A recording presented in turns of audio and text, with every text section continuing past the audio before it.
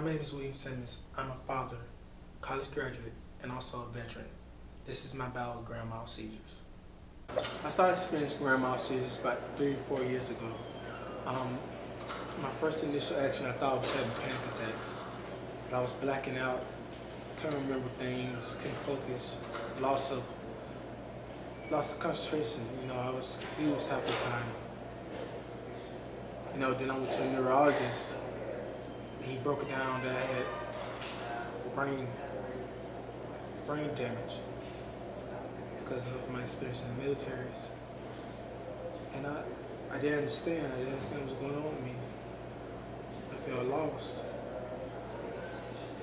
That kind of pushed my family away from me because they didn't understand what was going on with me. Personally, that was the hardest time in my life because I didn't know. That's the hardest time for any person that have grand mal seizures or seizures in general.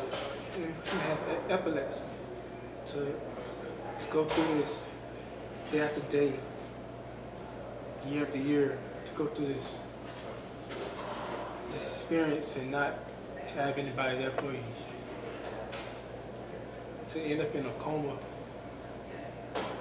two, three weeks, months, wake up and nobody's there for you. To truly understand what it feels like to feel lost. I started going to college uh, because I, uh, my doctor, me my doctor felt it helped me with my memory, my seizures. Even though I was taking my medication, I still was having grand mal seizures. I was having three to four seizures a week. I still was going to college. I was struggling. I almost gave up.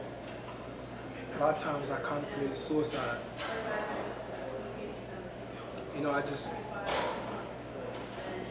I didn't understand.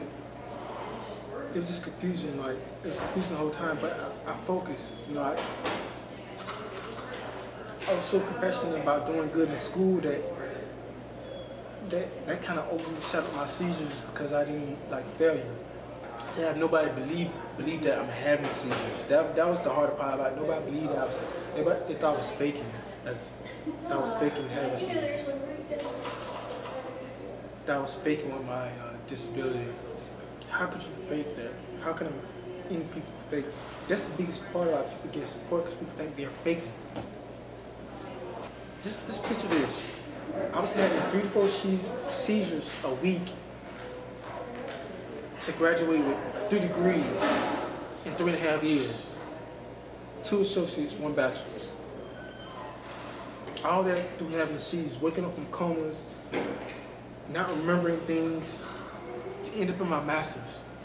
The reason I'm making this documentary to let people know, even though you have a disability, if you're homeless, you have a disability, you're struggling in a class, that you can do it. This is my battle with seizures. I have I battle with it every day with my memory. Everything, I battle with it. But you could, you could do it too. That, that's the whole point of me doing this. Not for self-gratification, or just for that one person that might need an uplift, that might watch this and might get inspired just to go to finish high school. That's the reason I'm doing this.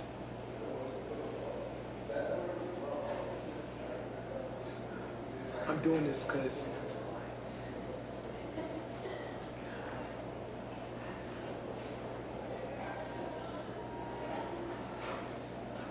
because I have grand mal seed.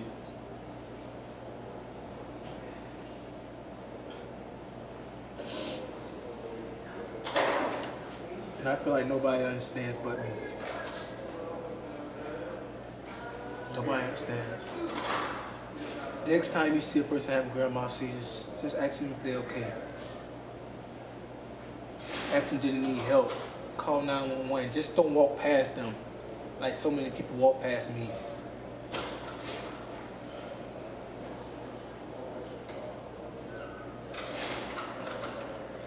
like I said before, this is my battle. And everybody go through battles. Thank you for listening.